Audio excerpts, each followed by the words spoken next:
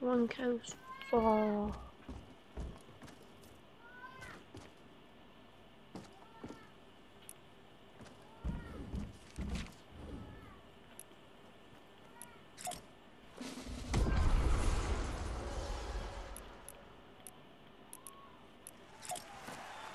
Got it.